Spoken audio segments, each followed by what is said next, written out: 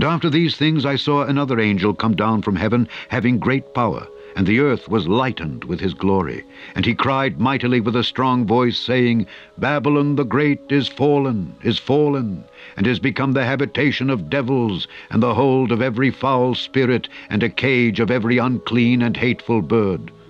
For all nations have drunk of the wine of the wrath of her fornication, and the kings of the earth have committed fornication with her, and the merchants of the earth are waxed rich through the abundance of her delicacies. And I heard another voice from heaven saying, Come out of her, my people, that ye be not partakers of her sins, and that ye receive not of her plagues. The occult has many pathways that lead the blind to mystery Babylon. However, what most don't understand is all of these pathways are interconnected.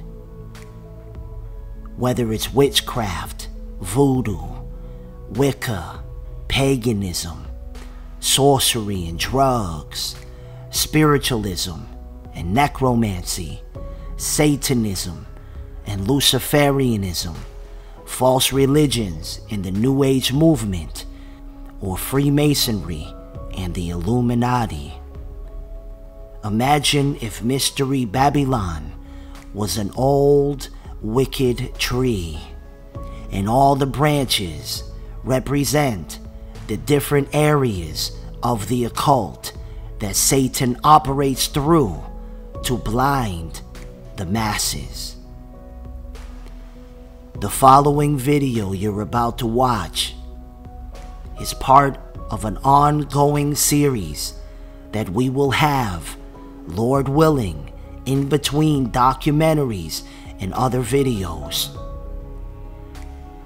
All of the evidence that we present to you in this video is public already online. Therefore, we present this disclaimer on the screen. There are many videos online that expose witchcraft. But what we want to do in this series is expose the occult in the areas that go undetected, the places where the serpent goes unnoticed in the grass, satanic times that have been strategically blotted out of the pages of history. We will be exposing areas where Satan is operating the occult under the radar. This is a series that we call The Places Witches Hide.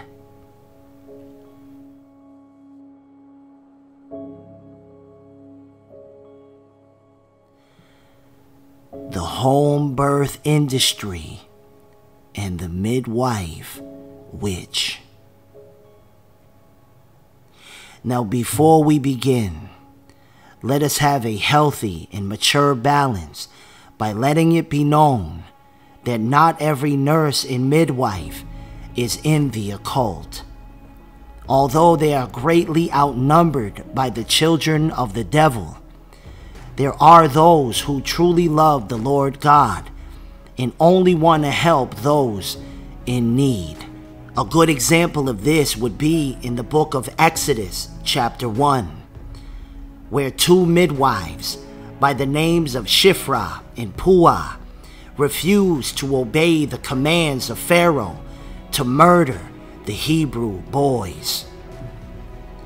Therefore, anyone watching this video, you are expected to judge righteously using discernment and not just falsely accusing any midwife or nurse. Remember one thing you will always know a tree by its fruit.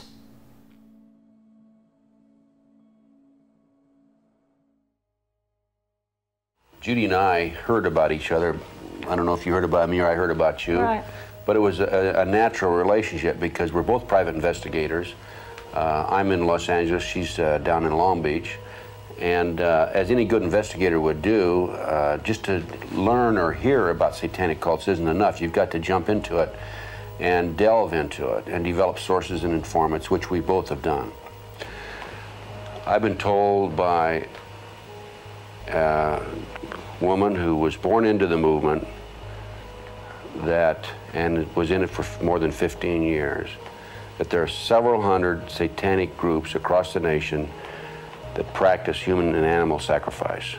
In all walks of life, doctors, lawyers, airline pilots, educators. I have been told of one superintendent of schools who's a, who's a, uh, a practicing Satanist. You could hear them singing through the wall. Guy, my, my husband Guy, said it was Dr. Shand, one of these people, playing a recorder. Now, how did he know it was Dr. Shand unless he was there with them? Um, they're very clever people. They planned everything right from the beginning. They probably made some sort of deal with Guy. They gave him success, and he promised them our baby to use in their rituals. I know this sounds crazy, but I've I've got books here. Look. There was another actor like him, Donald Baumgart, and they put a spell on him. They cast a spell on him and made him blind so the guy could get his part. Look, here. I had this friend, Edward Hutchins. Maybe you heard of him. A writer. He wrote stories for boys. Anyway, he was my good friend since I first came to New York. May I keep this? Yes, please. And look. Anyway, once Mr. Hutchins came to visit me. Came to visit me. It was the time I was having this pain, Doctor. I was suffering so. You can't imagine how much I was suffering. And they wouldn't help me. Nobody would. They were giving me a drink with tannis root in it. Also witch's stuff, tannis root. Hutch came and immediately saw something was wrong. He, he knew about witches, you see. Suddenly, Guy rushed in with his makeup still on, which he never did. They probably called him to come home and steal one of Hutch's belongings, which he did. Took his glove, and they put a spell on him, too. Put him in a coma. Three months later, he died. Now, maybe all this is coincidence, but one thing is for sure they have a coven and they want my baby. Certainly seems that way.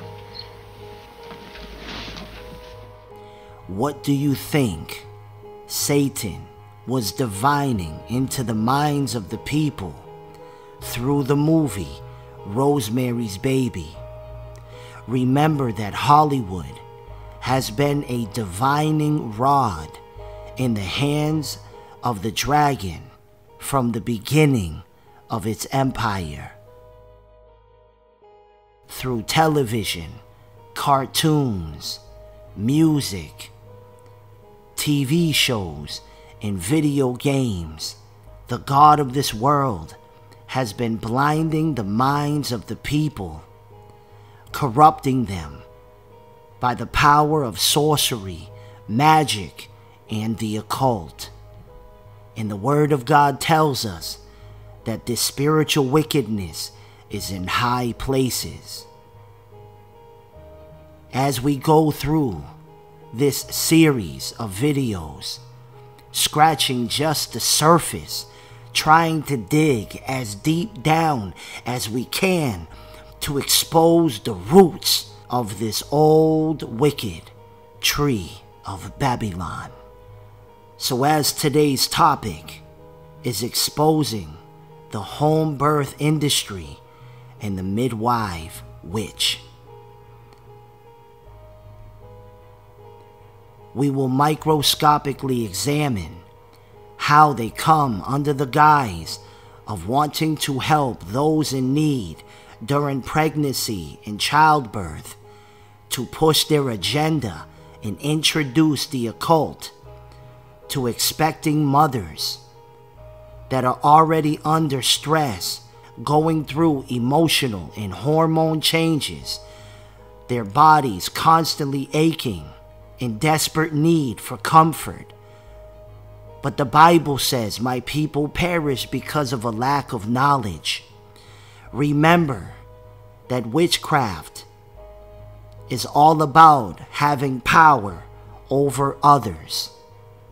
Can you think of an easier target than parents already going through stress and the mother going through these emotional and hormone changes? Very susceptible and impressionable to anything that is recommended to them that is told will help. So blindly, they start to get involved with the occult without even knowing it. Since the beginning of the worldwide lockdown, at the command of the beast, under the guise of an outbreak, the rise of home births have dramatically increased.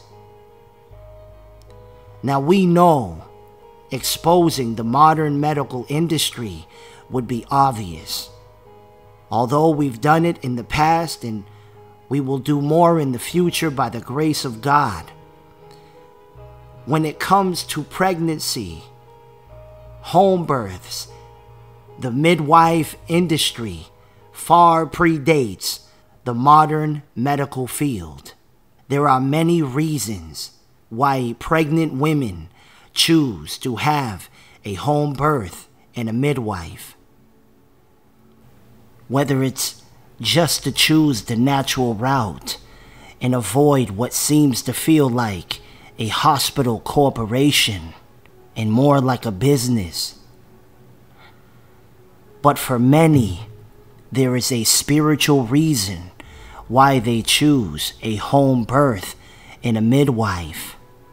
There are many Christian families that are choosing to go this route. But sadly, many are lukewarm and do not have the knowledge.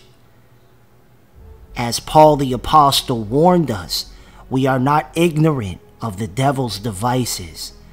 For the Lord God told us in the book of Hosea that my people perish because of a lack of knowledge. So if you or somebody you know is pregnant and they're choosing to go the route of the midwife industry and something just don't feel right and the signs that I'm about to show you start to raise warning flags, there could be a chance that you have been the target of a midwife witch.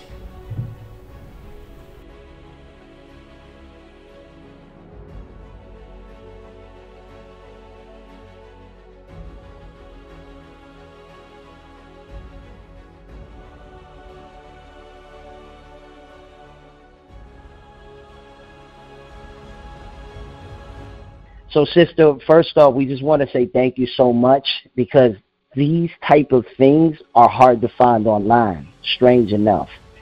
And especially this one topic referring to midwives, water birthing, and other things that I just want to ask you a few questions.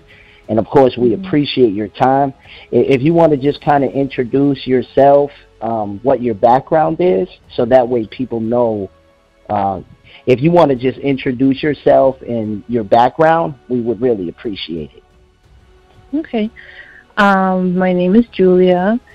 I was in the occult, I would say, for maybe 16 years of my life.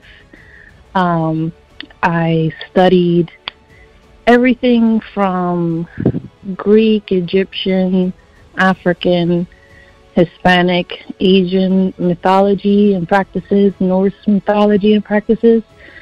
Um, so I have, I would say, a pretty in depth background that I, I obviously didn't realize how in depth until I met you from the ministry, my husband. Um, I did a lot of research when I was younger, when I was practicing. So I guess you would have called me an eclectic practitioner since I drew from so many paths. Um, I read pretty much every book I could get my hands on and made a lot of connections. So hopefully I can give you some insights or give you some good answers here. Amen. And I just want to thank the Almighty God for saving you. Amen. I mean, mm-hmm. you're Amen. an example of how powerful Jesus Christ is. That no matter, and for anybody listening, no matter how deep you have gone into the occult or even things you've done by accident, not realizing it, such as the topic we're about to get into, we just want you to know that Jesus Christ can save you and wash you clean from all of those things and make you a new creature. Amen. Yes. Amen. The battle so, uh, is very difficult. it's a, it's a real war, clearly. You know, uh, it, the devil is not happy. Go yeah, ahead. I can just give you a little bit really quick. Um, when I first just started to even like try and read the Bible, I just woke up one day and I was just like, I need to go grab a Bible. I don't know, out of nowhere, and I opened it. I didn't couldn't read it. It was like Chinese to me. But the night terrors that I would get, um, I would get locked in wow. my dreams. The attacks is they're crazy. The nightmares that I would have, like I, I could describe to you the things that I would see, or the creatures that I would see, what would happen, but I would get locked in my dreams, and the name of Jesus was the only thing that would get me out, and that's when I knew, okay, wow. something is up here. Yeah, just to give you a little bit. no, but I appreciate that because it shows mm-hmm. that as you were drawing to the light of, of Christ, yes. the darkness, Satan tried to launch an all out war against you, and really it backfired. Yeah, and it backfired in his face because it only made you realize the power of the name of Yeshua, Jesus Christ. Mm-hmm. Thank you for sharing mm-hmm. that. Mm-hmm. Wow. You're welcome. So I guess uh, I, you know you're busy. We don't want to keep you too long. I just have some very important questions. So this video is is very important because it's it's nothing like if you go online right now, there's no one really talking about this. I couldn't find not one video um, exposing this particular subject. And what I want to talk about and I'll just kind of give you a, a couple uh, bullet points so you have an idea, is midwives and how mm-hmm. there's a lot of witchcraft involved, but under the guise of caring for the pregnant mothers, right? If you can, if you can kind of go into a little bit of that, I also want to ask you about uh, water birthing, and this is something that I've always been against, but I couldn't put my hand on it. I, put, I couldn't put my finger on it and God revealed it uh, to me the other night, and it and, and He led me on this journey to study the origins of it and what it really is. So, if, if we could, um, could you just tell everyone listening about uh, midwiving, about midwives and, and what goes on with the occult and how they promote it? We I'd appreciate that. Um. Okay. I well, I think while you were saying that, um, I think the reason why you probably are not finding a lot of it online is because it isn't advertised the way like you would have someone that reads cards or, you know, makes mojo bags for people, you know, how they would advertise themselves as a witch doctor or something like that and people know okay we go to this specific person. I think it's more of um kind of just integrated in the practice where you would have a high priestess or um someone who is uh well practiced involved in the birthing of a child or bringing a new life into the world. When i think about it uh, a lot of I want to say I'll refer to like Wiccans, maybe not specifically them, but they have a wheel, you know, of the year um, where the goddess and god, false goddess, false god are represented, and it is all about birth and rebirth. It goes with the seasons and all of that. So it's not a surprise that they would also be involved in bringing a life into the world, you know. Um, also, we're held in um, but I think that just kind of comes within like the normal practice. So they're not really advertising it as oh midwives are this or that. Is probably why you're not finding a lot of it. it's just kind of like when they teach you or they train you. Okay, this is how you set up an altar. This is how you you know, arrange your candles. This is how you bring a light into the world. This is how you celebrate um, spring. You know, this is how you celebrate, you know, mm. the seasons of life. So that's probably Yeah. why it's a little bit more shrouded than it is kind of out there. You Does know, it's sense? interesting. Yeah, uh, uh, Absolutely. And and what I found shocking is because you have to have spiritual mm-hmm. eyes. You have to be able to actually have discernment in Christ to spot what it really is. And it's shocking how many so-called pastors and what people would call, you know, Christian religious leaders, they really have terrible discernment and they, and they lack spiritual authority to allow these things in their home. And and what I mean is when I would when I was looking up these things, I started to realize that a lot of the midwives give code language and symbolism, right?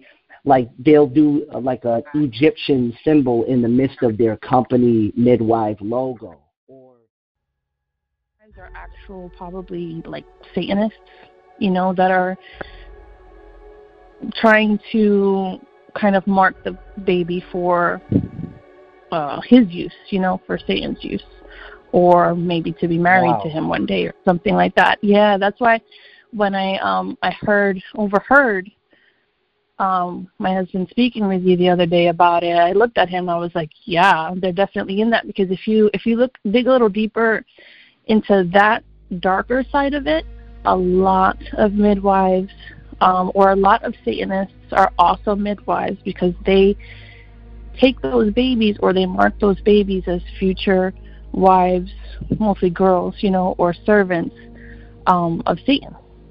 They definitely want to be there at the beginning. That's it's like um I mean it's just like the world, you know, like everybody wants to train the child from the beginning to become something else in the end, right? So that's right. there's that, yeah.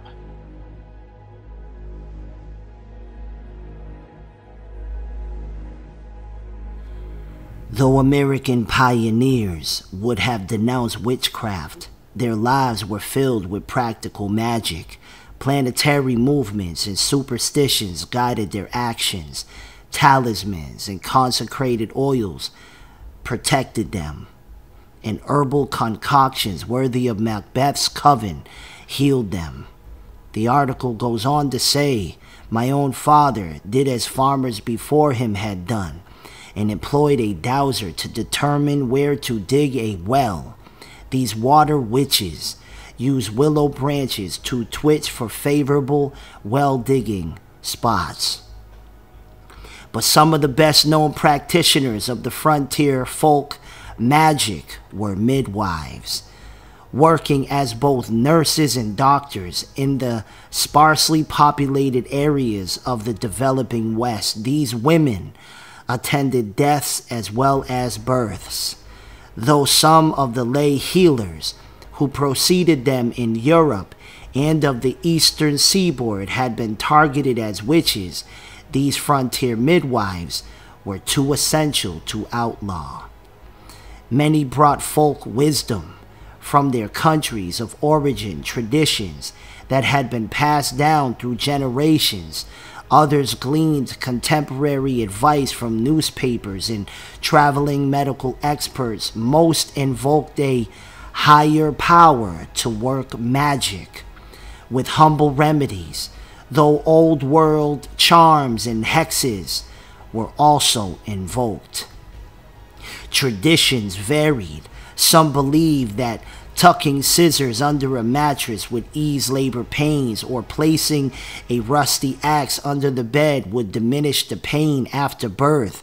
Not all sharp instruments were welcome. However, some thought that if a pregnant woman laid eyes on a garden hoe, it would kill the child she was carrying. Anecdotes of visiting angels, either in the form of light or personages who assisted the midwives, are common. Some of these mysterious visitors came to usher in life, others to take it away or to comfort those left behind. Magical powers were attributed to readily available herbs. Western midwives were particularly fond of Isabella, sagebrush, sunflower seeds, raspberry leaves, and thistles. These common plants were brewed up in teas, ground into or steeped in pots to soak infected limbs or immerse the entire body in a steam bath. What I'm going to do is show you a list of words on the screen that were mentioned in one of many articles you will find online when connecting the dots between midwives in witchcraft and the occult. Practical magic. Superstitions. Talismans. Herbal concoctions. practitioners of frontier folk magic.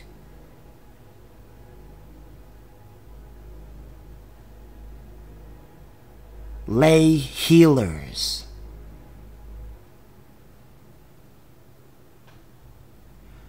Charms. Hexes and now let's address the visiting angels who came in a form of light. The Word of God says that Satan is transformed into an angel of light. These midwives who were operating out of the occult most certainly did not have the holy angels of the Most High God there to assist them. So clearly, these are what the Bible warns us about principalities and powers, rulers of the darkness of this world, and spiritual wickedness in high places, demonic entities and fallen angels that help those that are in the occult. No different than in the days of Genesis chapter 6 when the fallen angels came down. You can also find more information in the book of Enoch. But let us go ahead. I want you to watch this short video of a very wicked woman, and I want you to connect the dots yourself. The tale of La Voisin is a dark one filled with plots and ploys to take down the enemies of her clients. She provided a variety of services, including poisoning, alleged sorcery, fortune telling, and more. She even had an extensive network, but despite this, getting involved with members of the French court would lead to her demise. Catherine Dillet, known more famously as La Voisin, was born around the year 1640 in Paris. As a young girl, it's believed that little Catherine earned a few coins on the streets by telling the fortunes of anyone interested. She claimed that she had been taught the art of fortune telling at the age of nine, but it's unknown by whom. In any case, most of her predictions turned out to be true. This talent, which she considered God given powers, would allow her to make a name for herself in Paris, but it later led her down a dark path. When Catherine was around 20 years old, she married Antoine Monvoisin. Her husband was a businessman who tried his luck as a silk merchant, as well as opening up a jewellery store in Paris, yet he had little success. Within a few years, Catherine became a well-known fortune teller, recognised for her accurate and useful predictions. Yet, she knew she could expand and earn more money if she could provide more services. So she decided to acquire the necessary medical knowledge, allowing her to become a midwife. Allowing her to become a midwife. Allowing her to become a midwife. Although she did well for herself, Catherine, now known as La Voisin, had to provide for her children, husband, and mother. In need of more money, she began to offer abortions within her midwife services to any women who wanted it. At the time, abortions were illegal, meaning those who facilitated it ran the risk of conviction and punishment. It was because of this that she earned more ridding women of unwanted babies than delivering newborns. It's believed that when La Voisin had to deal with fetuses who had been aborted late in the pregnancy, she would burn them in her house furnace and then bury the remains in her garden. She would burn them in her house furnace and then bury the remains in her garden. She would burn them in her house furnace and then bury the remains in her garden. As word of her services spread, women higher up the social ladder began to request her help. This in turn led to La Voisin charging higher prices, thus earning more money. Eventually, she had so many clients that she even established a network of abortion providers, and her role as a midwife was simply a front for her illicit practice. And her role as a midwife was simply a front for her illicit practice. And her role as a midwife was simply a front for her illicit practice. And her role as a midwife was simply a front for her illicit practice. And her role as a midwife was simply a front for her illicit practice. Yeah, you'd be surprised how many people you don't know who you're walking, you know, next to on the street. You'd be surprised how many people are involved in the occult, uh, even if they're dabbling, and how many people are actually Satanists or Satan worshippers, and how many are high-ranking, you know, or high priestesses or high priests. You don't know who you're walking, you know, next to. Um, but I did want to add that, like the the birth itself is a very powerful moment um, seen. Uh, I mean, not in just the occult, obviously, in just everyday life. Um, and I'm just going to add this note, and I promise that it'll make sense in a few seconds. But Yeah. the birth itself is very powerful, just like sex magic is seen as very powerful. Um, they use that kind of energy that's kind of built up remember birthing like the baby's coming through a portal so it's like an opportunity to bring something else into the world as well Wow. so if it's not Wow. to mark someone as a servant maybe to bring something into the flesh you know um sometimes they are already there by their by the side of the mother while she's pregnant throughout her pregnancy eat this drink this tea preparing her not just at the birth you know they're there through the whole thing Wow. Can I? I don't. I'm trying not to interrupt you, but I'm like, I got so many questions and so many things to add Yeah. in. You remember Okay. there was a movie in the world.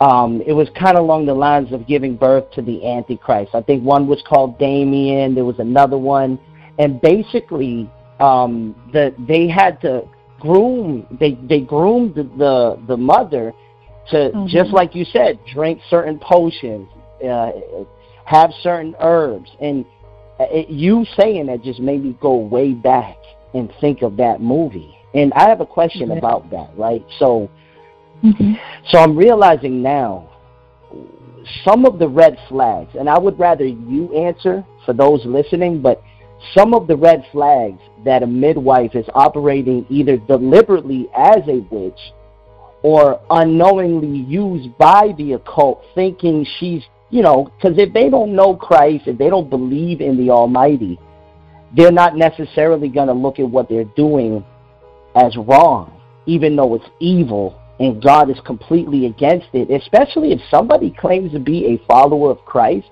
They should have nothing to do with any of this. So, my question is what are some red flags that anybody listening that may be pregnant or one day will be pregnant by God's grace, what are some red flags that a midwife does? For example, offering certain herbs or certain chants, or what are some red flags that you could tell people to watch out for?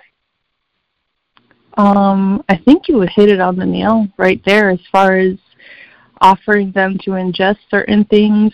Like my mom, when my mom was pregnant with my sister, um, her mother-in-law you know, just always wanted to uh, make sure that she ate well and stuff like that. And I think that's normal, you know, like your mother-in-law is there next to you.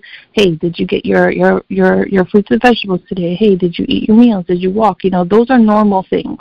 She's looking yeah. out for a pregnant woman. But I think if you see them um, gathering things and, and making you kind of want to drink something that they didn't really want to tell you what it is, unless the mother themselves requested the presence and knows that this midwife is involved and wants them around, you know, and is quote unquote spiritual or whatever, I think we're excluding them out of this answer.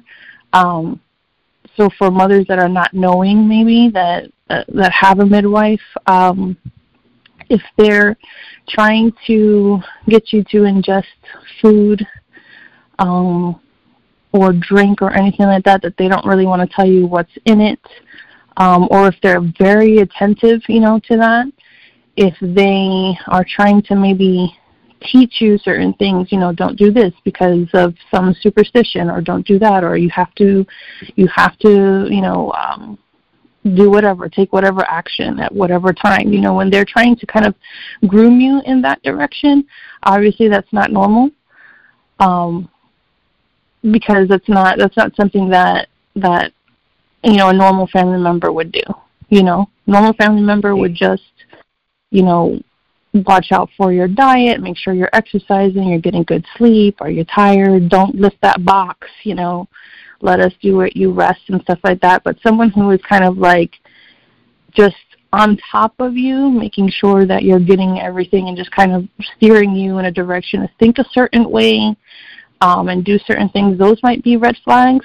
They're very kind of good at hiding it, so I don't know that there would be too many, other than your natural discernment as well.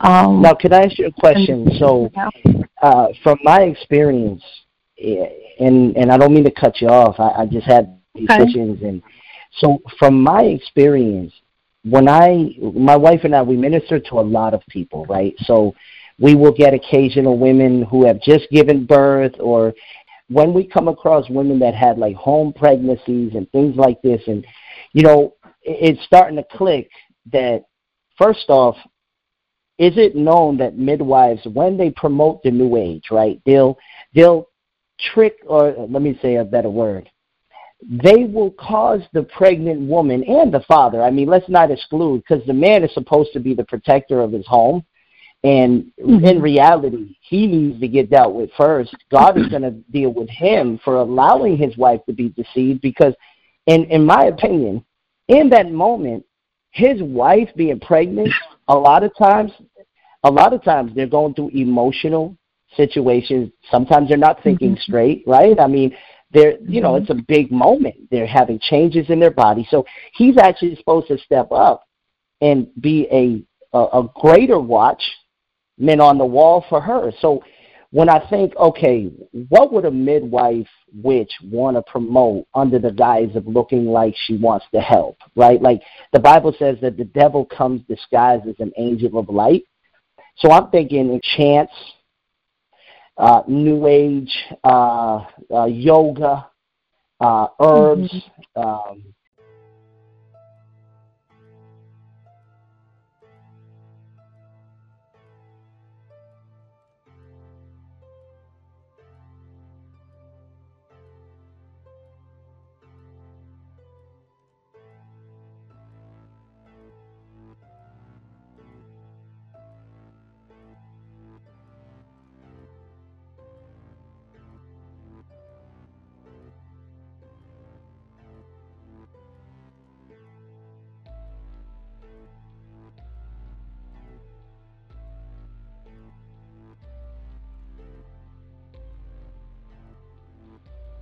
uh, New Age, uh, uh, yoga, uh, herbs, mm-hmm. um, you know, certain drinks. Remember what our Lord God told us you will always know a tree by its fruit. Your eyes are opening and you're starting to realize how those in the occult, whether in high places or low, whether it's in Hollywood movies, corporations, or regular websites selling herbs and salt. pay attention to the logos, the numbers they use, the symbols they have, the language, in the way they word themselves can give them away. A good example of this would be on this ninth annual AABC Birth Institute website. It says herbs for childbearing. But as you scroll down and they're talking about midwifery, you'll notice they use the word wise women and try to make it look as if this simply means midwife. But I want you to hear this in the lexico. It says, a woman considered to be knowledgeable in matters such as herbal healing, magic charms, or other traditional lore, witches and shamans, wise women, and other variants of the same are more likely to have their own agendas. So this is occult coded language. This when they're referring to wise women, they're referring to witches. In ancient times, midwifery and herbalism were woven together, being grounded and rooted in the earth with intuition, intelligence, and faith. Once again, coded language letting you know they're into the occult whether Wicca or witchcraft, and the list goes on. This is a perfect example of coded language. They go on to say, Wise women have gathered herbs for thousands of years by the waning and waxing of the moon to prepare for birth. You understand? This is the coded language. If you watched the recent documentary we released called the whole world is a stage. It was very evident that the occult uses the moon in many of their rituals. On the next, as you scroll down this website, they go on to say wise women understood the rhythms of their bodies and the relationship to the magical gifts of herbs. You understand now?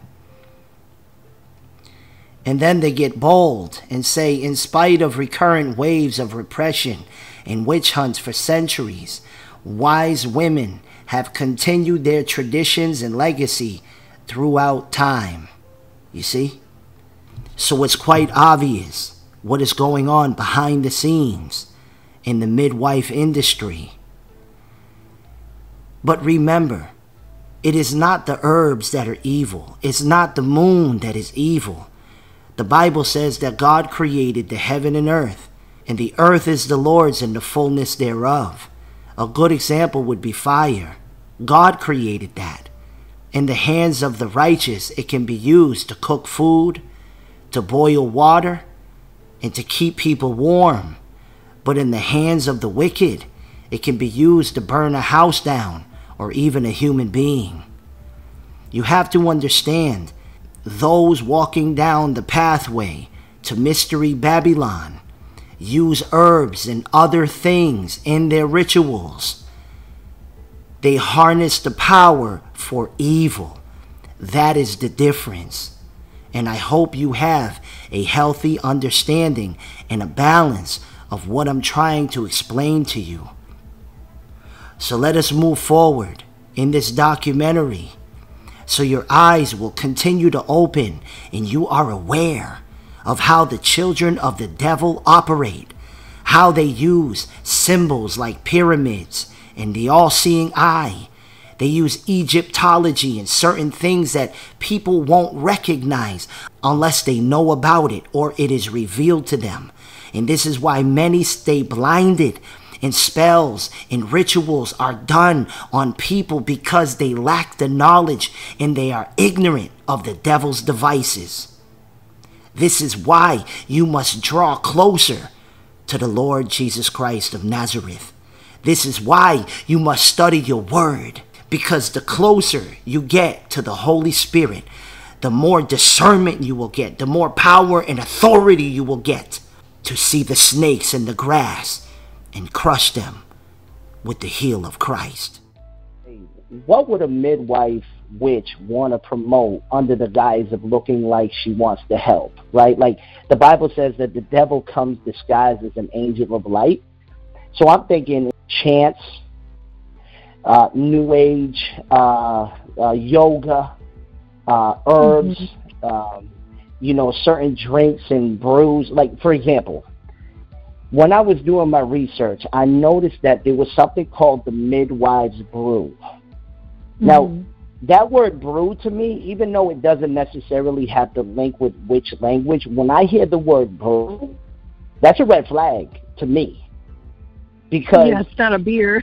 like thank you. like no you, you know, uh, exactly. And, and you doing your research uh, for years. There's something called witches brew, right? Like a potion. Mm-hmm Mm-hmm.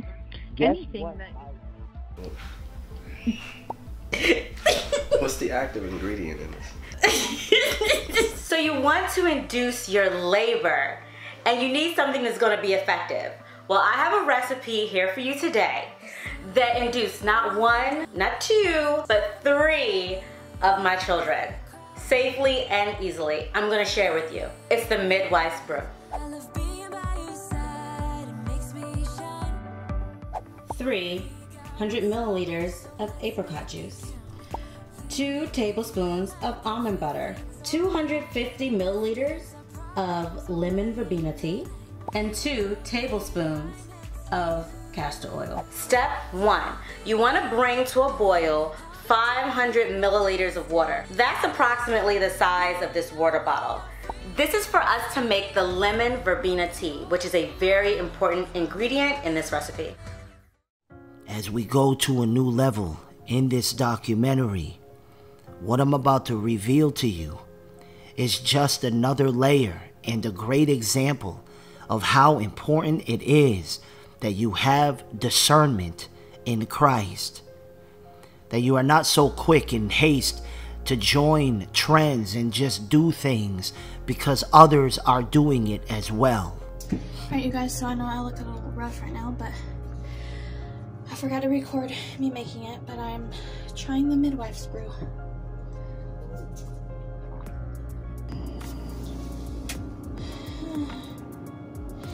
I gotta drink this within, what, 20 minutes or 30 minutes? I don't remember, but it's not that great. Oh my god. Remember that the Word of God says, My people perish because of a lack of knowledge. You have to ask yourself in the book of Galatians, when Paul writes to them in chapter 3, how were they bewitched? I mean, it's obvious they were the church. So, how did witchcraft have the power to manipulate and change their minds through sorcery to believe a lie? Now, there's always going to be that handful of people that doubt and mock and just say, Brother Wally is bugging. He's just reaching. He just wants a viral video. And I ain't mad at him because they are entitled to their opinion, even if it's utterly foolish. But for those who have eyes to see, when you start to see the patterns adding up, when you start to see corrupt fruit on the Babylonian tree, this is when you have to realize there is a diabolical agenda at hand. You just watched a video of the midwife brew. But as I was on this journey, that I'm welcoming you to walk with me so you can learn and your eyes will be open and your understanding will be enlightened, that you will be able to see how the devil operates so you can spot it avoid it and destroy it in the mighty name of Yeshua, Jesus Christ of Nazareth. Now remember, when it comes to sorcery, magic, and spells, potions, and alchemy, these are things that were taught by fallen angels. When mixing certain things together to get a demonic spiritual reaction, what would be the odds that the same ingredients that is promoted for this midwives brew are very important ingredients when it comes to magic and witchcraft. Let's go through them one by one so you can see from actual occult websites what they say about these four ingredients. Lemon verbena herb for hoodoo, Wicca, and voodoo, and is highly esteemed and potent when it comes to spells in the witch community. Almond butter. It is said that it adds a lot of power to a Wiccan spell. Apricot is known in the occult community, although underrated, they say makes spells much more powerful. And castor oil is very prominent in spells, and particularly in how they deceive those who don't understand, is by saying it wards off or repels negative energy. But remember, white magic, black magic are on the same demonic tree, and you have to know this. You have many witches who say, Well, I just use white magic. But Satan comes disguised as an angel of light. Even when you copy and paste the ingredients, and instead of putting midwife brew, you put witch's brew, and the same ingredients come up for the title Witch's Brew. There are people that admit this, but yet those who lack understanding just carry on and do what they're told. And this is why the God of this world continues to blind the minds of the people. Saints of God, it goes deeper and deeper. So just imagine that the origin of this midwives brew was founded on a witchcraft spell and a potion, but under the guise of caring for those going through pregnancy, they simply changed the word witch's brew to midwives brew, gave a potion, and imagine what it does to not only the mother, but the precious child within the womb. Do you remember what was said earlier on the phone call interview with an ex witch, Sister Julia, who has over 16 years of experience when it comes to the occult?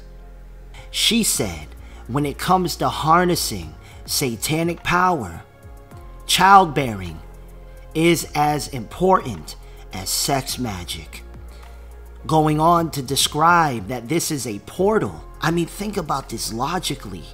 What could be more powerful than the moment a new life comes into this dimension, into this world? So I started to meditate on this, and I truly believe that the witches and those in the occult, masquerading as midwives, are pushing this witch's brew disguised as a midwives brew on unsuspecting pregnant victims that lack the knowledge and just simply do what they're told.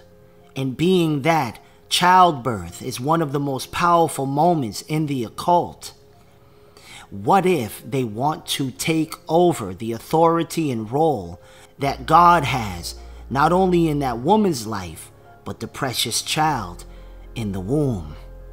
Let me explain. Is it not the Lord God, Jesus Christ, who decides when a baby will come out of the womb? Does he not know the day and hour that he has chosen for a child to come through the womb and for that water to break? I truly believe that when women are induced and forced into labor, it is unclean, and anyone that has had this done needs to repent. Think about this logically.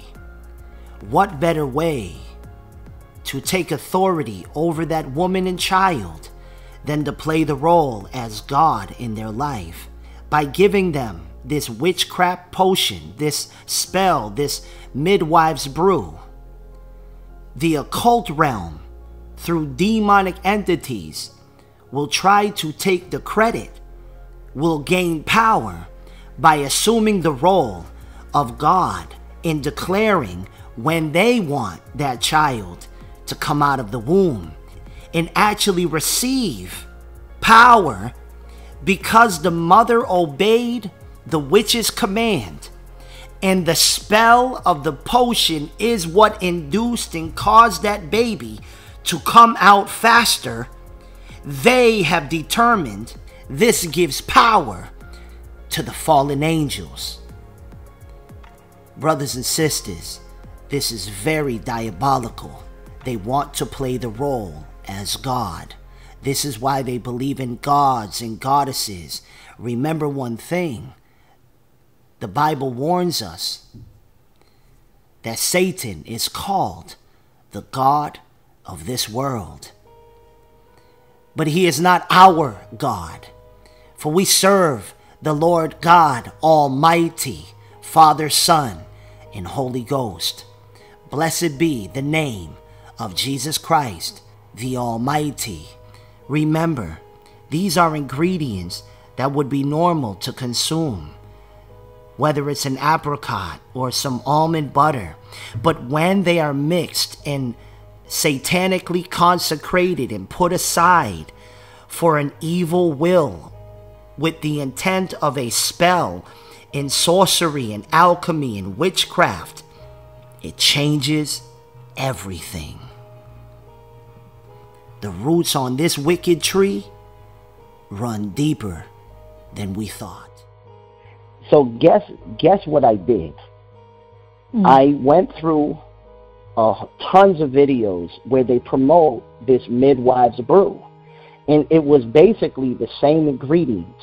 I copied and pasted the midwives brew ingredients and I put it into the search bar, but instead of midwives brew, I replaced it with witch's brew, and the exact same potion with the exact same ingredients popped up.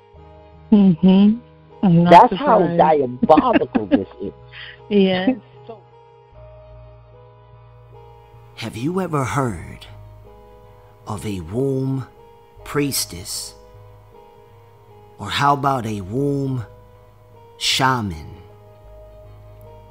More than likely, you haven't. That's because they stay under the occult radar, masquerading as midwives. These are the ones that seem very sweet. Their hands seem very gentle.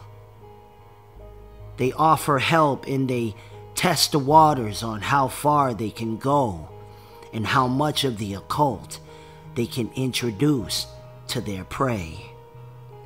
Just as the children of God are seeking out the lost to bring them to Yeshua the Messiah, so are the children of Babylon seeking out blinded people and lukewarm Christians to turn them over to the occult. So they will slowly introduce things like meditation. They will offer prayer and blessings and healings, even using titles like God. But they are not talking about the God of Abraham, Isaac, and Jacob. But because so many Christians are lukewarm and cannot discern, they automatically assume it's right.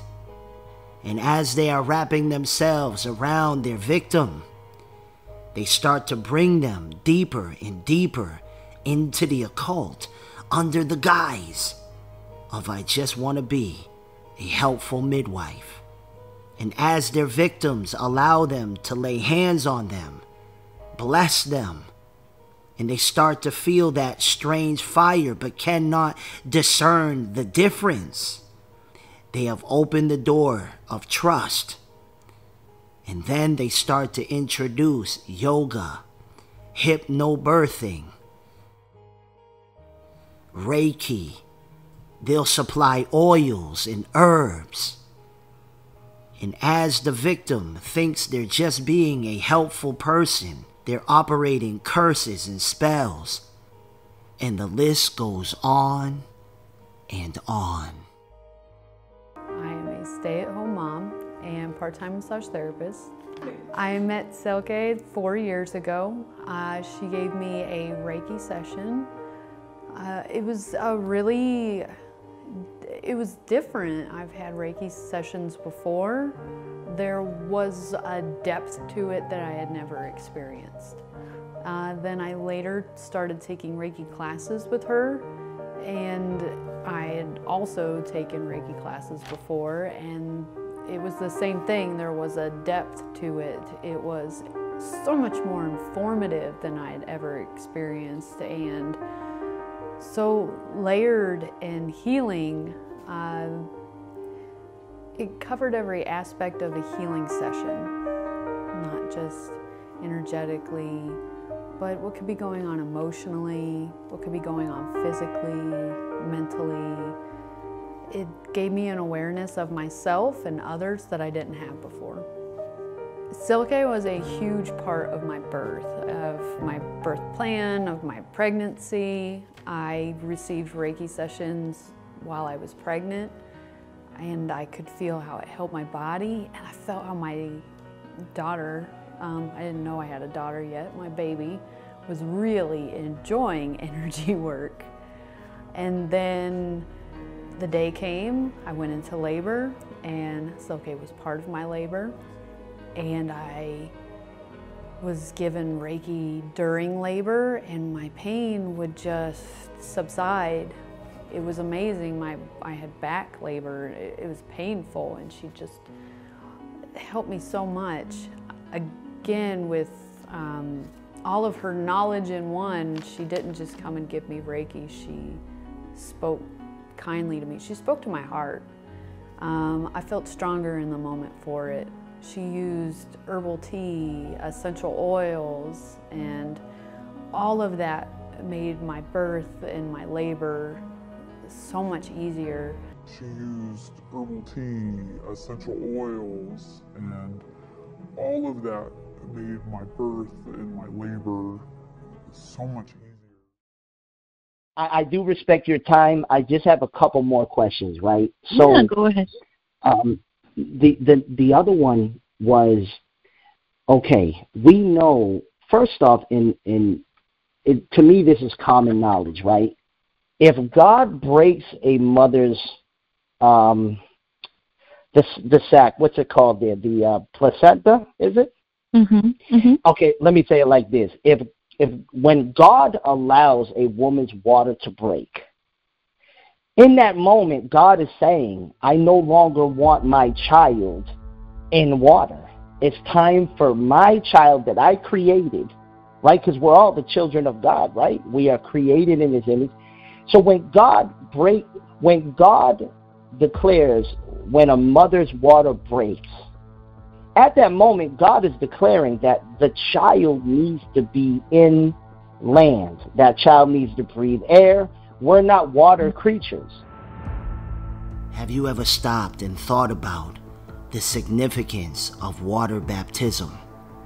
All through the Word of God, we see the importance of water when it comes to the gospel. The following part of this documentary is very shocking and we're about to go to a whole nother level of exposing the occult agenda of water birthing in the midwife industry. If you don't know what that is, it is exactly what the name says. It is when a pregnant woman deliberately gives birth in an oversized tub of water.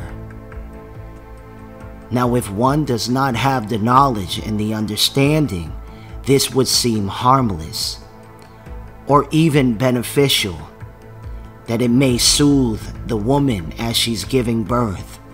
But the reality is, there is a deep rooted occult agenda that Satan does not want you to know about. But the Word of God commands us to expose the devil anywhere we can. That is why we are trying to put out as many different types of documentaries and videos, not only teaching you the mysteries of Christ, but also exposing Satan in the many places that he hides. From the beginning, my wife and I have always been opposed and against water birthing, but I could never put my finger on why my spirit man was against it. But as I was meditating and doing this documentary, the Lord took me on a journey. What you're about to learn is very shocking and disturbing. Now, before we continue with the recording of the phone interview with our sister who spent over 15 years in the occult before Jesus Christ set her free, I want to go over a few points before we continue, before we play the phone recording.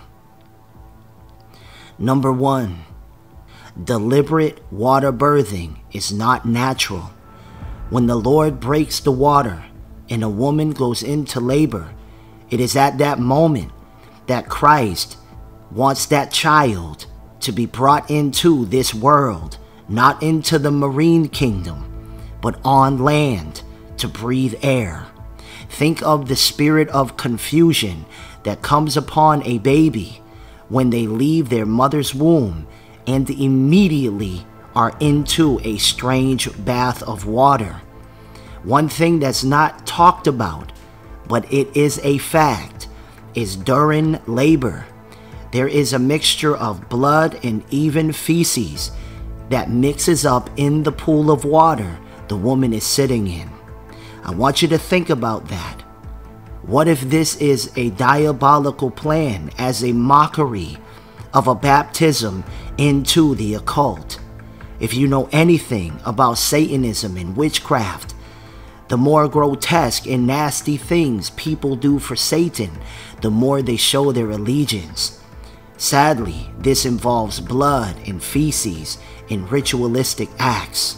The first thing that precious baby experiences is a pool of bloody, filthy water. Now, please keep in mind, I don't want you to focus on the dirty water in the physical realm because the baby's not clean. Because let's face it, no baby is clean coming out of the womb of its mother. There's always going to be fluids and things like that. But you have to see that in the spiritual realm, this is demonic. The child is entering through a dirty water portal. This is a ritual. Do not focus on the physical, as gross as it is, because let's face it, it isn't going to be the same as natural birth on land. The mixing of the feces in the water and these things are part of the ritual. And sadly, people don't realize this. This is a spiritual agenda. You understand? To dedicate that child to the marine kingdom and also to an ancient Egyptian goddess that we will talk about later in the video. But it doesn't stop there. There is a diabolical plan to put a spirit in that baby through a ritual that goes back to the pharaohs. We will get into that in a moment. I also want you to understand that people perish because of a lack of knowledge and because the baby is ordained to go from the womb to air and the earth. Instead, because it goes through dirty water, it brings a spirit of confusion from birth. So I will now continue the phone recording of the interview with an ex witch who spent over 15 years studying the occult. And thank God he delivered her. My question is Are you delivered? Have you been set free? I want you to know that even if you perform these rituals willfully, the Lord can set you free. His blood is so powerful, He can cleanse you and your precious children. But you have to humble yourself and do the prayer with me at the end of this video. With that being said, let us begin. So even in a regular realm, not even just looking at it in the spiritual realm, it brings a if you look at it, it brings a spirit of confusion because that baby goes from the womb into water, right? And it's Right. supposed to go from the womb out of the water of the womb and into what, you know, land, you could say air, right? So even that brings a spirit of confusion and error upon the child. So doing my research, I found out that water birthing was a ritual specifically for pharaohs when they're born. Do you are Mhm. you a, in agreement with that? Is that true? Yeah, I would agree with that. hmm Okay, so from your studies, that is true. Wow. That is, So it just yeah, lets you know- piece of information. Yes. Now, here's the interesting thing the connection is in the Bible. It was the Pharaoh that had a direct connection to the midwives. He was commanding them to kill the Hebrew uh, male children, the babies, right? It just Mhm. lets you know that Pharaoh connection, right? So I wanted to stop and talk to you before we continue with this phone interview. You must understand the significance of what is being exposed. Do you have any idea how important Egyptology is to Mystery Babylon? To those in the occult, it always goes back to the all seeing eye in the pyramid. Now, depending on their rank, some will represent the pyramid, but they hide it in plain sight, while others, while others are bold in your face with it. I mean, after all, it is on the dollar bill.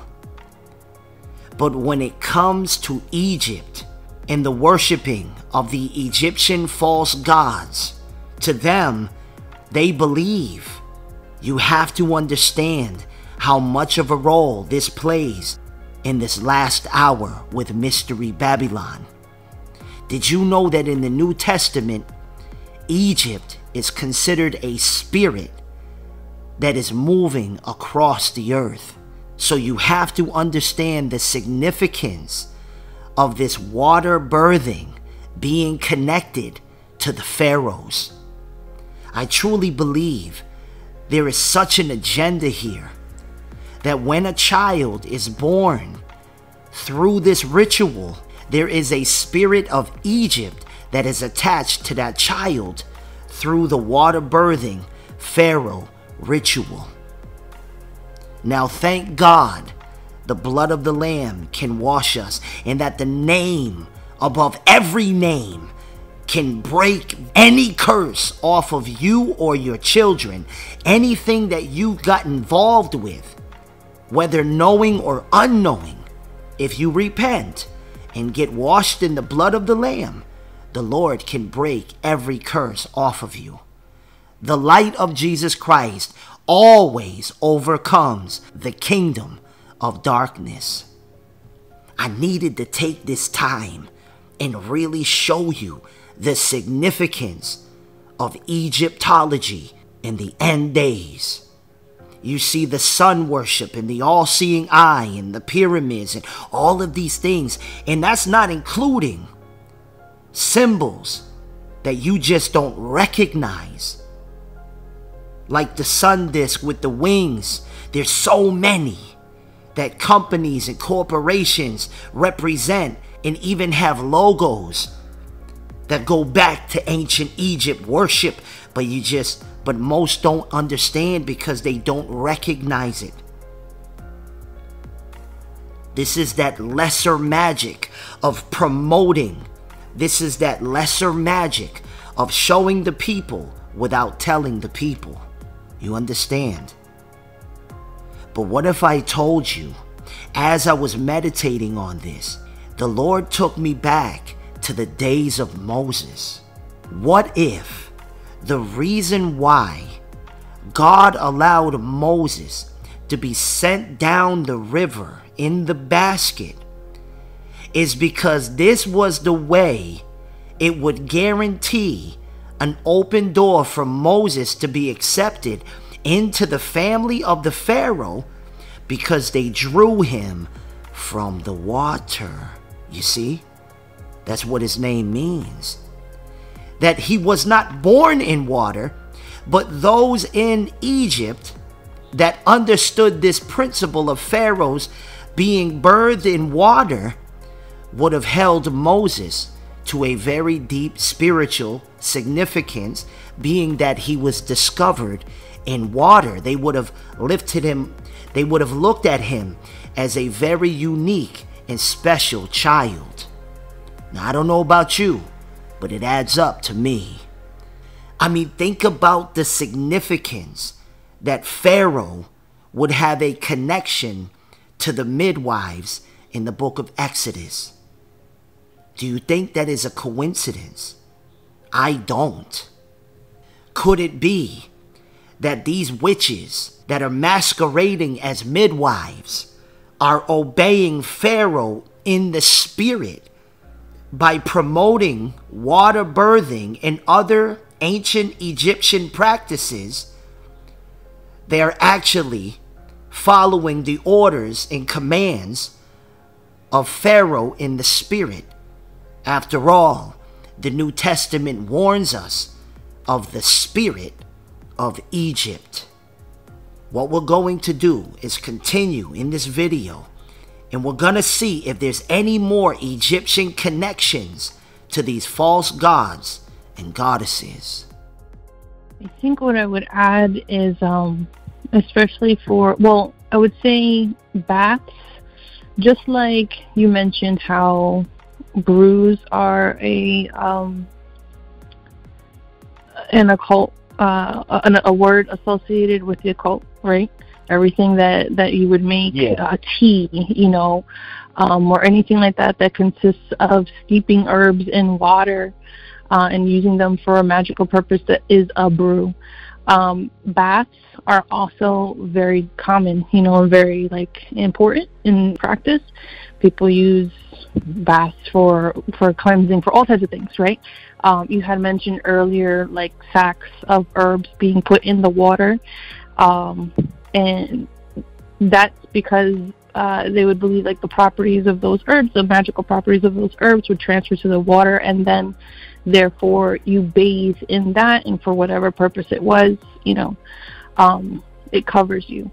So bathing in water, bathing in milk, bathing in blood, they all have different, you know, purposes. Um, yes, covering like covering yourself completely, I think is more of like marking yourself for a certain purpose, you know?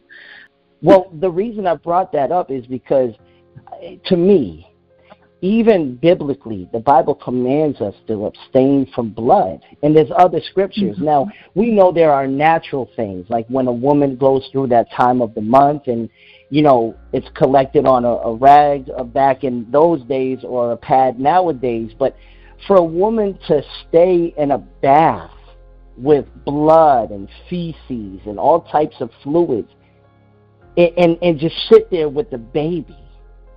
And a lot of times, and I there's a video that I have where these midwives they literally listen to this now. They dump a potion, like a mixture of brew, into the blood water, and then they took the placenta and did a bunch of like circles. They moved the pl- placenta around in the bath water.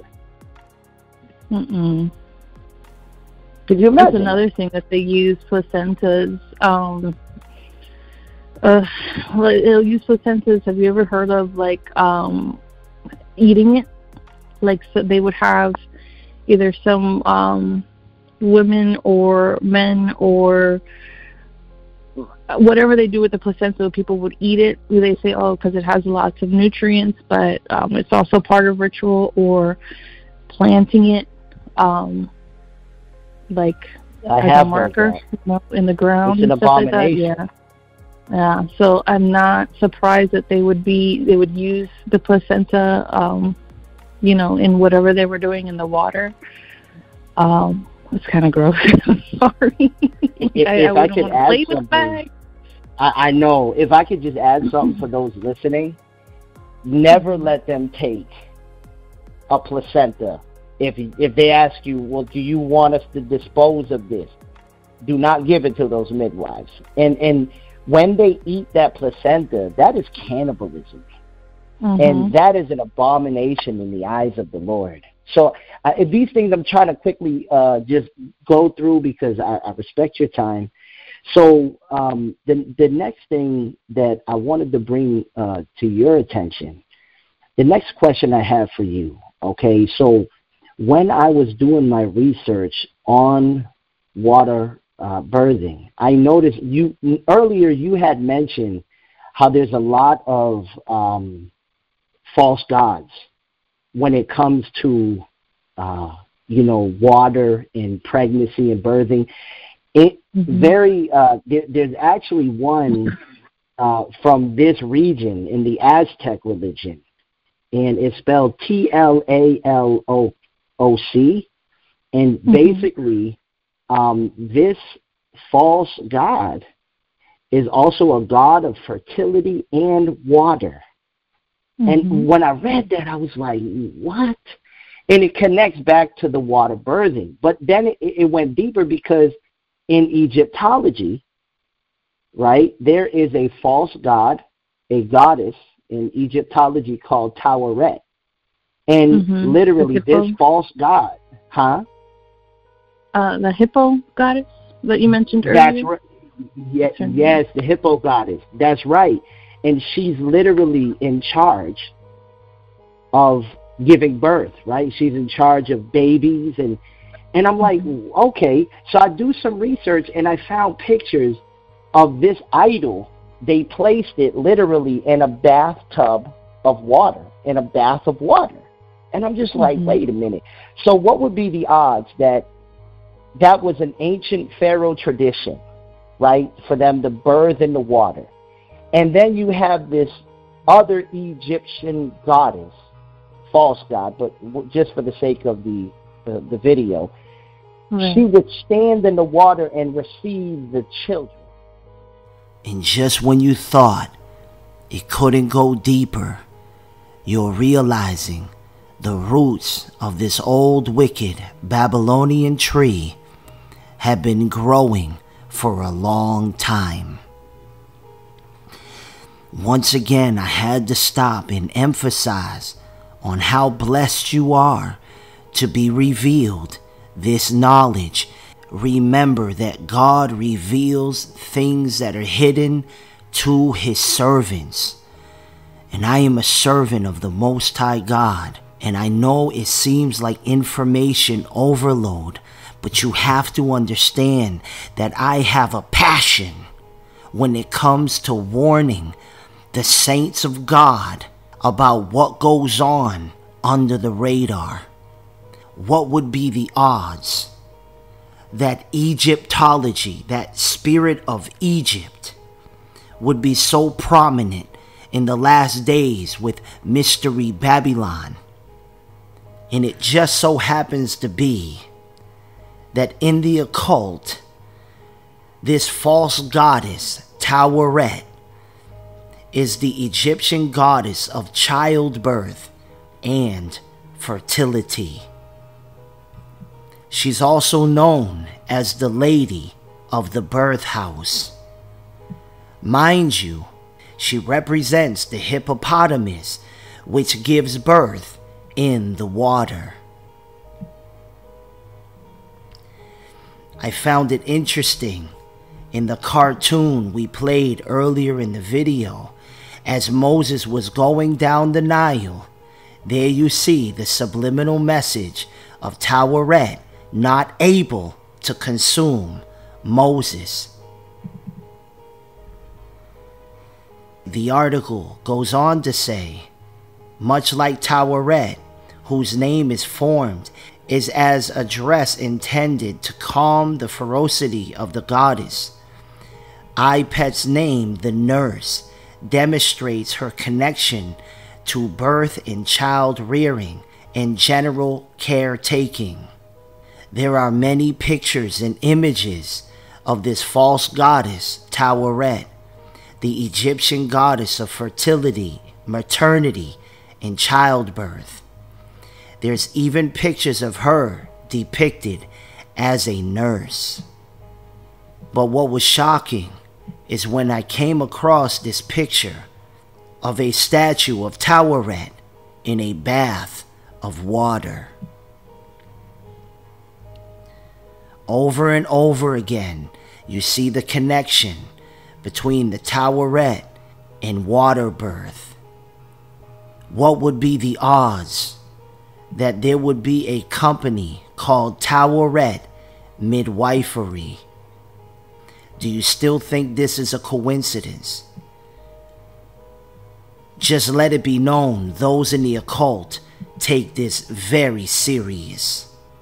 It was interesting that I came across a YouTube video about spiritual midwives, and the first image that comes on the screen, although they say gospel group God's Recycled, notice the Egyptian symbolism because many midwives masquerade as Christians, but it's a guise to hide their true identity.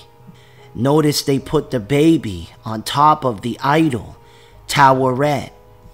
What do you think they're saying in the spirit realm? So, brothers and sisters, now do you see why I took the time, hours, to get this documentary into your hands and why we have started this new series and release other videos exposing the places witches hide. This is not a game, brothers and sisters. The occult is very real. Even as Jannes and Jambres withstood Moses, even so do these stand against you, the Bible says. Remember the sorcerers in the book of Acts that the sons of God went to war against. This is a real spiritual warfare. You have to stop being ignorant of the devil's devices. Start being more discerning and get closer to Christ, and the Holy Spirit will lead and guide you into all truth. So, to sum it all up as we continue in this phone interview, I truly believe that Egyptology is the main agenda with the occult promoting water birth. That as as the spirit of Pharaoh is already upon the child, this false goddess and demon, Taweret, stands there in the spiritual realm, waiting to receive that child coming out of the water. And because of ignorance, the mother and father offer up their child to the demon gods of Egypt.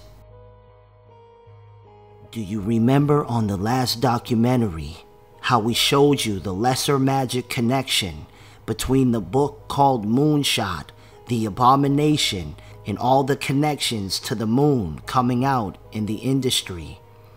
Do you remember when I showed you Disney has has just released a movie called The Moon Knight?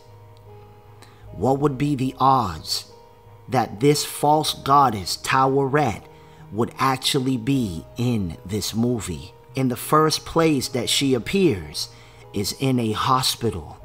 And this is that connection to a nurse and a midwife, and also, I believe, the abomination. Remember that Mystery Babylon, when it comes to the occult of Egyptology and the worship of gods and goddesses, which are truly just demons and fallen angels, Egypt is, if not the most important, to Mystery Babylon. But what would be the odds of the Taweret being revealed in a movie at a time when we're exposing the enemy? Mind you, brothers and sisters, I have been slowly working on this documentary before the Moon Knight video even released. This is once again confirmation that we truly are exposing the enemy with the light of Christ. And what's crazy is that in this movie, Taweret is able to go into bodies and use them as an avatar. As I've warned you and will continue to do so, this water birthing ritual causes the child to take upon a spirit of Egypt. And the false goddess Taweret, as the nurse and midwife, is there to receive the child and dedicate that precious baby to the occult. And be in charge of that department, in charge of women giving birth. And it, it just, it, it's all connecting now on why water birthing, especially since the last two years with everything that's been going on, as you know, the lie going around making people afraid and they're all staying home, they literally have said that um, midwives and it's gone up a whole lot. A lot of lot of women are choosing to give birth outside yeah. of the hospital, you know. So all of these connections, uh, it, it's just pretty evident that there is something diabolical that Satan is doing because he's the Bible calls him the God of this world, and he wants his hand in any place that he can in this world. He wants to, you know, uh, be in charge. So I really appreciate your time, and you know, looking at all of this, it's been very shocking. You know, as I was going through multiple videos of women giving birth in tubs, uh, giving birth in water. There was even a man who proclaims to be a pastor, and he actually testifies that he used to be in the New Age, right? Mm-hmm. So as I'm watching this video of his wife giving birth in water, right, as she's in the tub holding the, the child, there's floating uh, bags of herbs in the water, and her children have these seashells in their hands yeah. while they're. What is that? That that's weird to me. So the the first thing that comes to my mind, um, first of all, me having the same background, or I, I wouldn't say maybe the same. I don't know the depth of his um, education in the occult. Um, but me having a, uh, a similar background, I would not be comfortable having bags of herbs prepared and put in a bath, especially if I had, you know, converted. You know what I'm saying? If I no longer practice the occult, like I wouldn't, I wouldn't want to be near any of those things. But that being said, the first thing that comes to my mind, um, I know that you have mentioned her before in an old video that you made. One of the um, false goddesses in Santeria, which translates to a lot of different false goddesses in other religions, um, Yemaya, which is the false goddess of the ocean. You mentioned her as Mama Wata in one of your videos, and her representations are seashells, and she is a mother she takes That's care crazy. of children. And her sister, Oshun, who is the false goddess of like love or whatever that could be associated with like Aphrodite, um, gives her children over because she knows that Yemaya is a better mother. She watches over that. Um, so you know, in in in that practice, not that it's true, um, not that it's real, but in that practice, that's what they believe. So have them being holding shells, you know, um, and having those herbs or mojo bags in the water, um, I don't I don't see the purpose other than something like that to have like a a spirit watch over the birth, watch over the mother, watch over the baby. Um, I know in Hispanic practices when they do things like that, especially like at births or even when someone is entering a practice, you know, later in their adulthood, they go through a whole rebirthing cycle and then they have what's called an asiento, which is when they kind of seat on on you a mother like a, a mother or father spirit to watch over you, you know? So when I hear you that's say that great. he had those things happen during the birth, that's what comes to my mind. There's no other and, reason. And, like, why are they holding seashells? Like, what is this? Did we just go to the beach? Like, I don't. There's no point in that. Exactly, and and to top it off, his wife actually is from the islands. She's uh, it's either Trinidad yeah. or one of those. So would that bring in even more of a connection? Yeah. So I bet you that it's it's probably that. Now on top of that, I didn't even know about that one because of course all of this is is is definitely a part of the marine kingdom, right? But there's also mm-hmm. a false goddess by the name of Venus, and yes. she also well, Venus is, is Aphrodite, yeah. Oh, that's mm-hmm. Aphrodite. Okay, so the same seashell. Yeah, and, and do you know it's the same exact seashells that she's standing in the image of her is the one the children yeah, the had. Yeah. I'm sorry. Wow. Well, I, I mean, the the thing about it is, this is a man who's actually very wicked. He's not a true man of God at all, and the fact that he boasts about being from the occult, there's absolutely no way he could be like, "Oh, I didn't know." It has to be deliberate, just like how yeah. he slanders, huh? Yeah, there's no way. I no, I, I agree with you. There's no way because there's so many things that I see every day, um, or you know, like let's say I, I go to the store and I'm like, ooh, you know, that that thing looks kind of nice, whatever, for my house, and I'm like, oh, but I know what the symbol is, you know, or I know what this. I if I know, knowing what these things represent, like I can't bring that into my home. So, if he if he unless he dabbled and it was just like here and there and really didn't educate himself, if he's claiming that he was deep into the occult, um, has a lot of knowledge, if he's claiming that he was on any kind of rank, then he knows exactly what he's doing. Long story short, I studied the occult and learned how to leave my body. I was meeting with famous spiritualists and teachers and learning New Age doctrines. He's claiming that he was deep into the occult, um, has a lot of knowledge, he's claiming that he was on any kind of rank, then he knows exactly what he's doing. About astral projection. And he was speaking a lot of truth and things that I believed about astral projection because I was into the new age. If he's claiming that he was deep into the occult, um, has a lot of knowledge, he's claiming that he was on any kind of rank, then he knows exactly what he's doing. So let's get this straight a man and woman who claim to have a ministry and extensive knowledge of the occult just so happen to choose a marine kingdom theme to give birth to their child. And then on top of that, they choose water birth. Then on top of that, they involve herbs into the ritual. And then on top of that, they give their children seashells to offer up to the new child and the mother.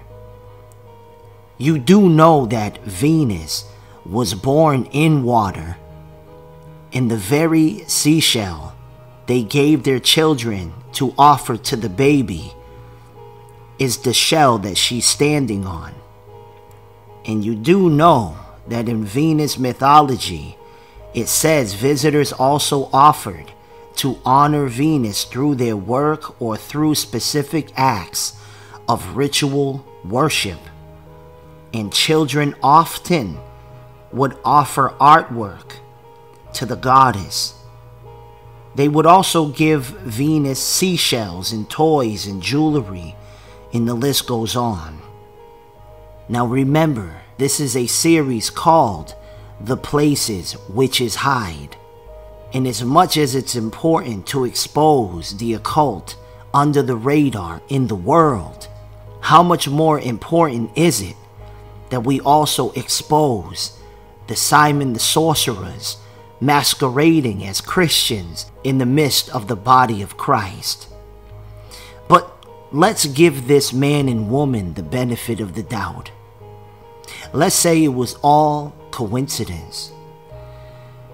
I think the only way we would be able to come to a godly conclusion is to study the tree and fruit of this man. What I'm going to do is play a small compilation of video clips exposing this man's character. But before you watch this compilation, let us go over the character of a witch one more time. We know that a witch operates out of manipulation, intimidation, and domination. Now, how do you think a witch would operate if they came into Christianity the same way witches enter into the midwife industry with the agenda to curse others, to dominate over others, and to lead people away from God and into Mystery Babylon? Would not this same theory apply to those who enter into Christianity, but secretly they're in the occult? And just like the character of the midwife witches, would they not pretend and offer to help people, to bless people, to pray for people, and even use the title God to deceive the feeble minded? What do you think the main agenda of a sorcerer, a witch, and those in the occult entering into Christianity? What do you think their main agenda would be? I believe it would be to turn people away from the true and living God, to cause as many as possible to deny Jesus Christ as the Lord God. Even Christ himself said, If you do not believe that I am He, you will die in your sins. After all, denying God as God is blasphemy. To tell the Lord God Almighty that he is not the Lord God Almighty is utter blasphemy. So when I meditate on what the agenda of a witch masquerading as a pastor would be, it would be to get as many people to deny Jesus Christ and the Holy Spirit as the Lord God Almighty. It would be to sow discord among the brethren. It would be to cause chaos and confusion mock, slander, and lie about others, to misrepresent the gospel, to mock that which is holy, and corrupt the minds of young believers. This is what I believe is fruit that we should look for if we are going to expose witches, the places witches hide in the midst of Christianity. With that being said, I will play this compilation and leave the choice up to you on whether this man and woman just so happened to have coincidence after coincidence, or could it possibly be that he really is a practitioner of the occult and a witch in disguise masquerading as a teacher of the Bible? After all, even the Freemasons deny Jesus as the Lord God.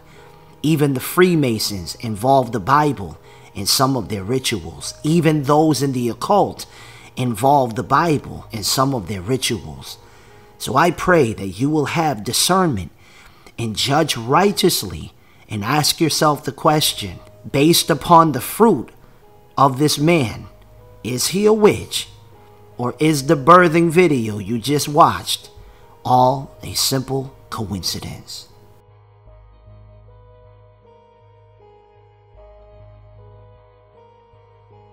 He's the only begotten Son of the Most High God.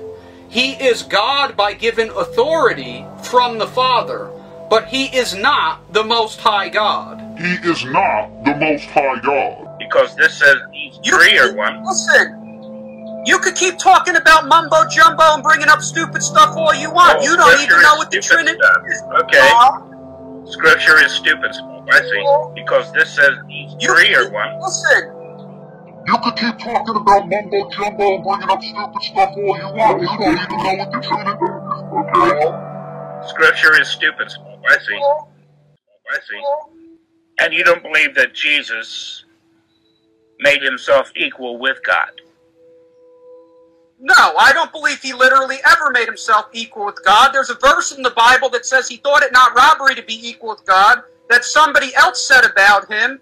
that somebody else said about him, that somebody else said about him, that somebody else said about him.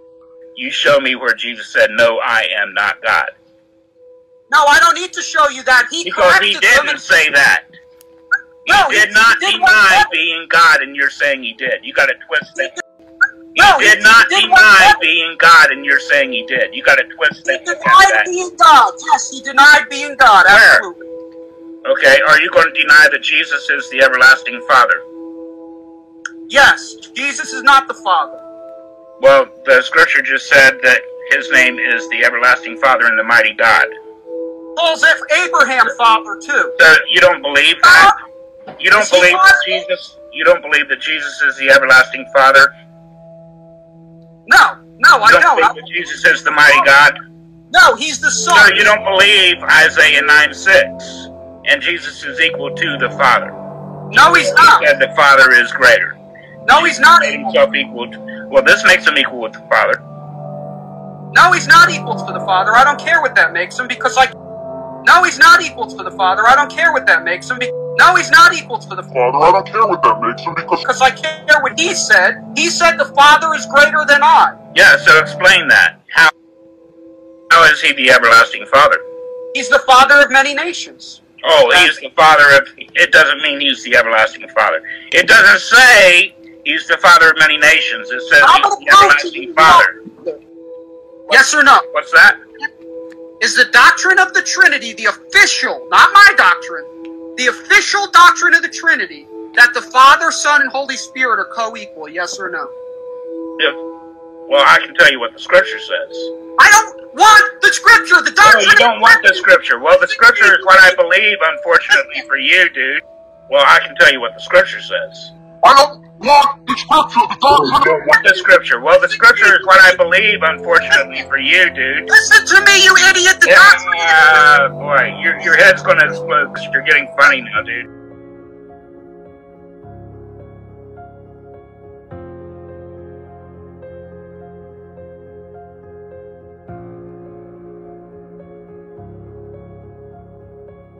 We believe the Father has given Jesus Christ the Holy Spirit without measure to carry out his purpose. Note, the Holy Spirit is never called God the Holy Spirit in Scripture. This is an unbiblical way to refer to the Holy Spirit. It should only be called the Spirit of God or the Holy Spirit or the Comforter or the Spirit of Truth, like that. It should never be called God the Holy Spirit. that. It should never be called God the Holy Spirit. You gonna answer my question or not? Is the Holy Spirit God? No, the Holy Spirit's the Spirit of God. The Holy Spirit is not God. I'm, I'm proving it to you because it's only called the Spirit of God. It's not called God. It is. There is a being called the Holy Spirit. Tell me where it's called God right now. There is a being. Oh, so you're saying the Holy Spirit is not God? No, it's this, it's not it's not called God in the Bible. It's called the Spirit of God. That's what it's called in the Bible. Are you saying the Holy? You just said the Holy Spirit is not God.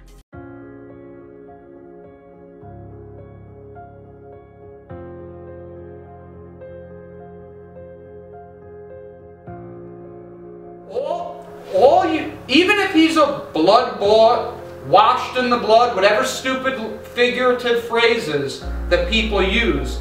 Number one, no one's washed in the blood. I don't remember last time I took a blood bath. I don't remember the last time I was uh, covered and slathered in the blood of Jesus. I'm baptized in the Holy Spirit. The blood of Jesus bought the Holy Spirit for me. It didn't buy my sins, but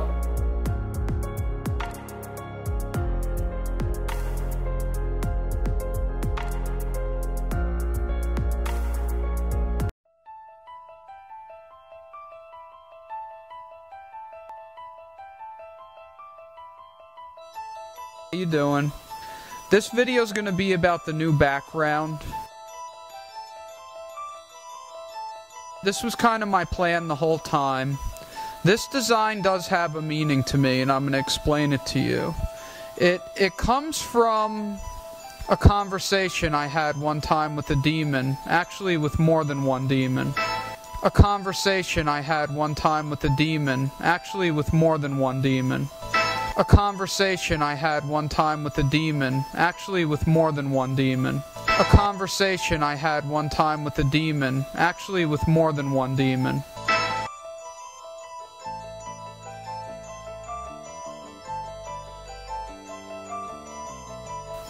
About how demons view us, how they see us when they see us in the spirit realm.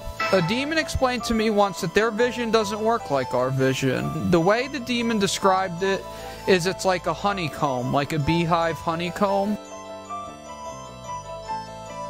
Now, the demon described to me when they look at us, they see us as light and darkness.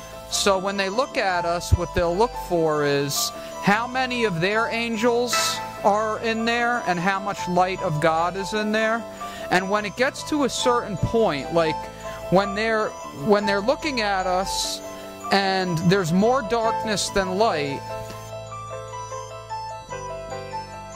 Now, what a demon explained to me is when they look at this honeycomb, when they look at us, they see this honeycomb. That's how their eye sockets work, or their vision, or that's how God allows them to view us. Like I said in other videos, they have a hive mind. They're hooked into a principality.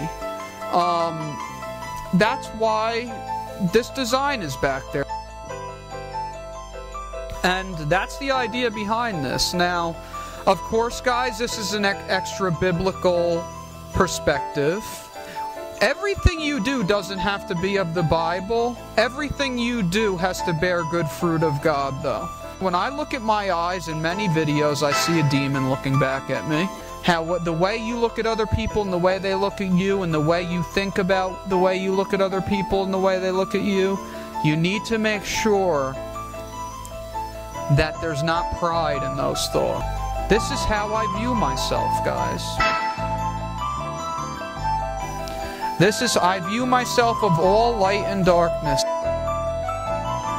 And where Satan is manipulating my personality. And where Satan is manipulating my personality. And where, and where Satan is manipulating my personality. And where Satan is manipulating my personality. And where Satan is manipulating my personality and where Satan is manipulating my personality. I hope you like the design.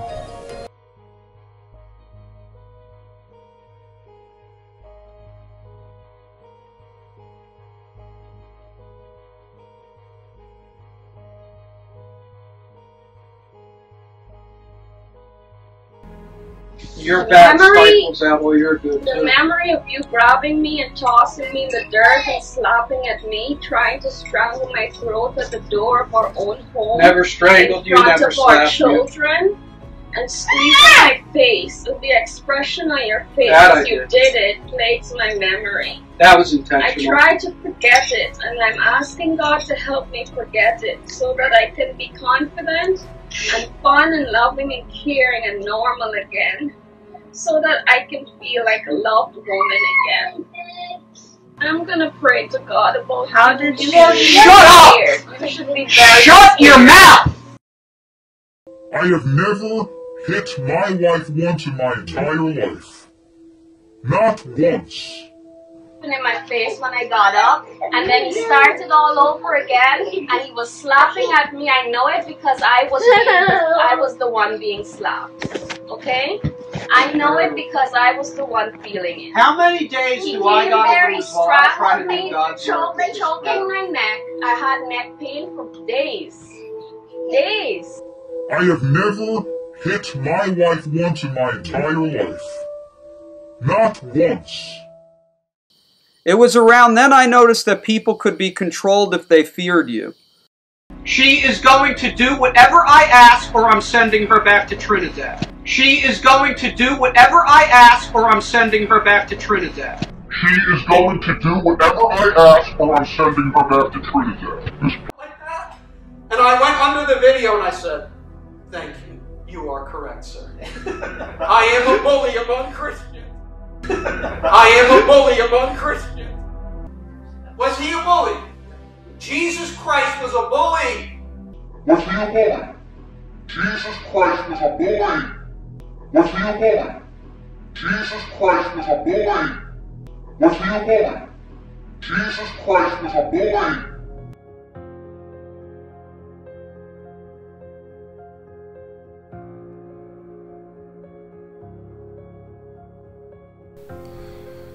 The places witches hide. So, what do you think, brothers and sisters? Was this a man? Did you feel the love of God watching his videos? Did you see the fruit of the Holy Spirit? Or did you see a witch operating as a Christian teacher online? Remember, you will always know a tree by its fruit. And believe me, we have only scratched the surface of the amount of blasphemy and heresy that has come out of this man's forked tongued mouth. And we have only scratched the surface, exposing the hidden occultism that he has been operating in in plain sight.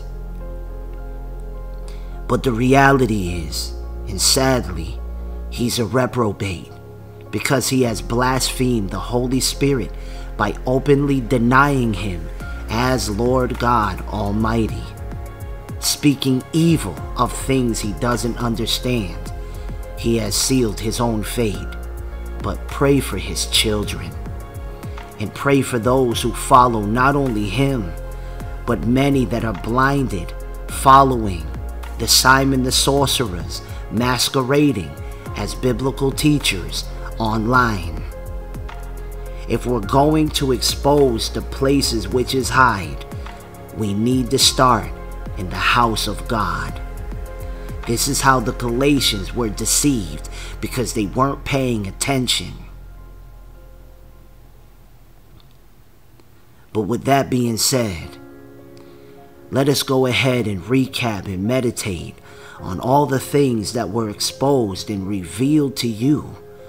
And my hope is that your understanding has been opened and you'll be more cautious and aware of your surroundings, not as a paranoid person, but rather a discerner and prudent not as a false accuser, but rather someone who studies the fruit of every tree that walks into their life.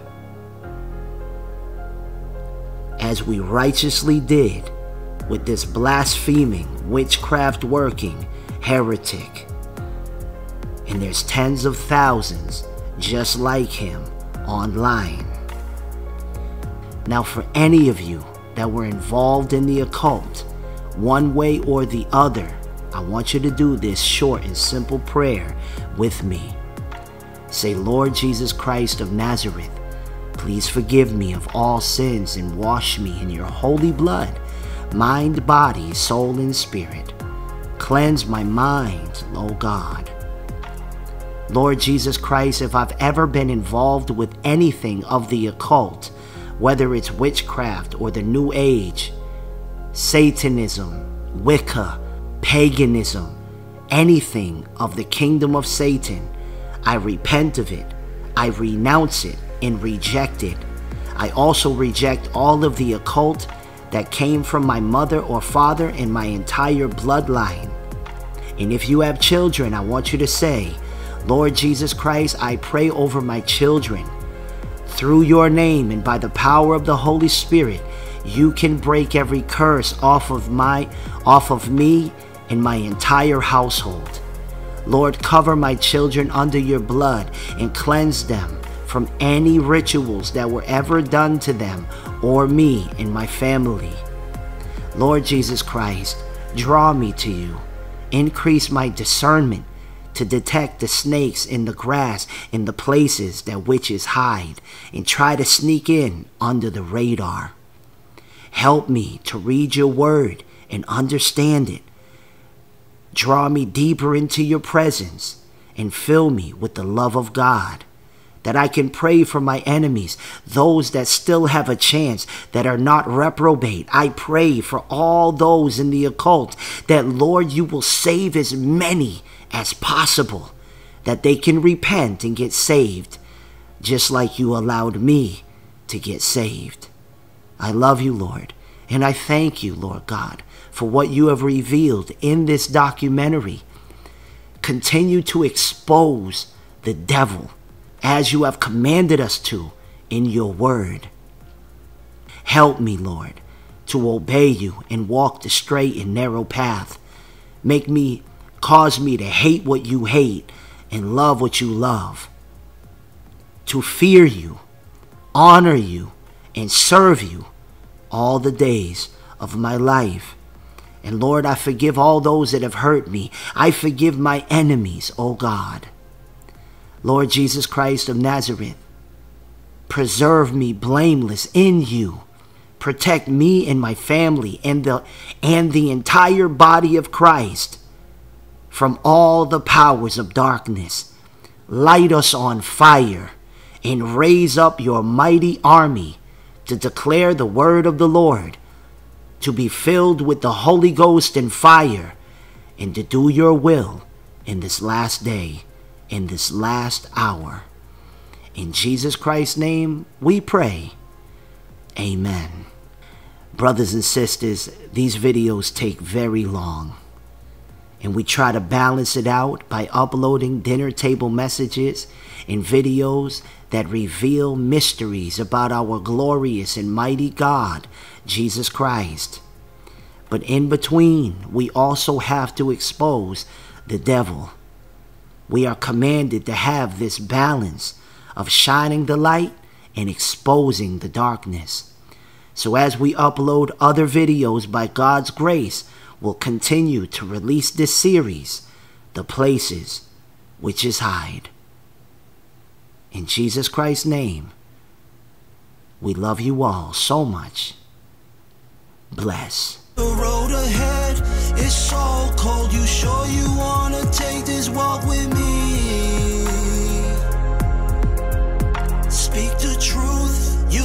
So many friends and even family.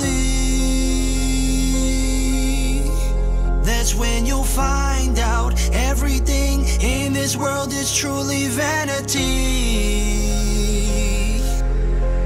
Somebody pinch me and tell me this has all been a dream.